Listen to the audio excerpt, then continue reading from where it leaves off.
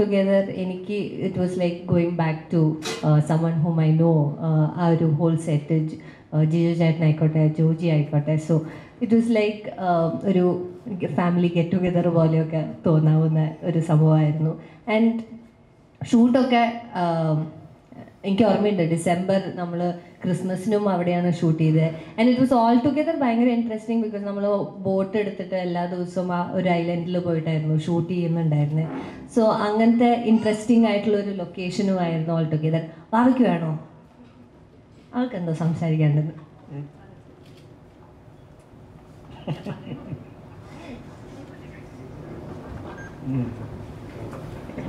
Mic മാത്രം മതി. സംസാരിക്കില്ല പക്ഷേ.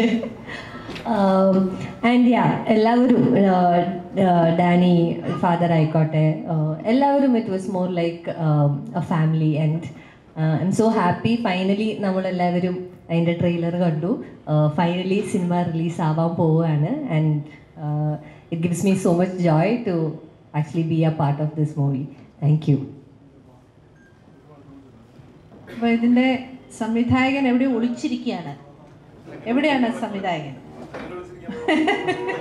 ഒളിച്ചിരിക്കാൻ പറ്റില്ല. ആൾ വരുമ്പോൾ മനസ്സിലാവും എന്തുകൊണ്ട് സിജു അങ്ങനെ പറഞ്ഞു എന്നുള്ളത്. ജിജോ ജോസഫ്. അദ്ദേഹത്തിന്റെ ആദ്യത്തെ ചിത്രമാണ് ഗംഭീരാവട്ടെ. വാ.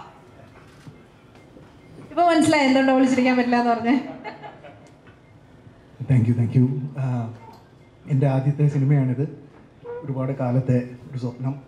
അത് ഇങ്ങനെ പകർത്താനായിട്ട് എല്ലാവരും എത്തിയതിൽ ഒരുപാട് സന്തോഷമുണ്ട്. ഈ സിനിമ എല്ലാവരെയും എന്റർടൈൻ ചെയ്യിക്കട്ടെ എന്ന് പ്രാർത്ഥിക്കുന്നു. അതിന് അത് ആൾക്കാരിലേക്ക് എത്തിക്കാൻ നിങ്ങളുടെ സഹായ സഹകരണങ്ങൾ ഞങ്ങൾ പ്രതീക്ഷിക്കുന്നു. താങ്ക്